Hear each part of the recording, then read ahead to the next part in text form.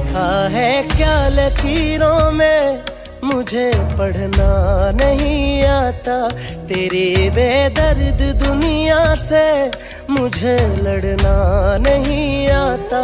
बस इतना हौसला दे दे, कभी ना ये चल के भटकना गल मुकदर है।